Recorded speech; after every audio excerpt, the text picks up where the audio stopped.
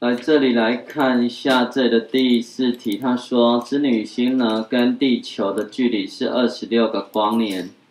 那二十六个光年呢，先提醒你一件事情，年是时间的单位，一年两年好时间单位，但是前面多一个光，代表光走了一段时间的距离，意思一个光年代表光走了一年的。距离虽然它是距离的单位哦。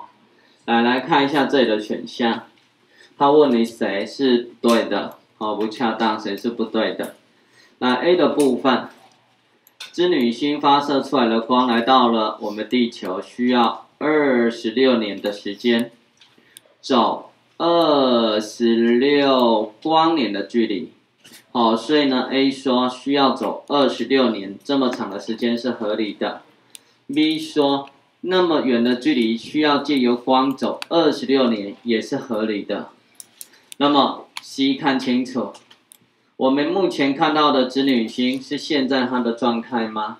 不是，就好像说这个是遥远的织女星，这是我们地球人。我们呢，织女星那里来的光线需要走二十六年才会看得到。意思，它慢慢的传，慢慢的传，等到我们真正看到它的时候，说坦白的，它一定还存在吗？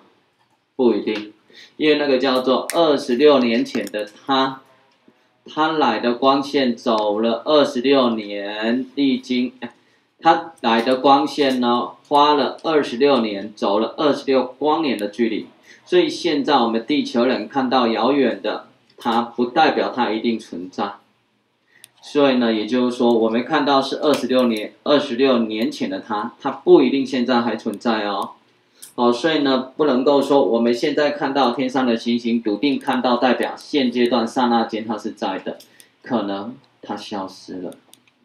来猪的部分，他说太空船呢，从地球跑到织女星呢，要二十六年，一个大前提，光速前进。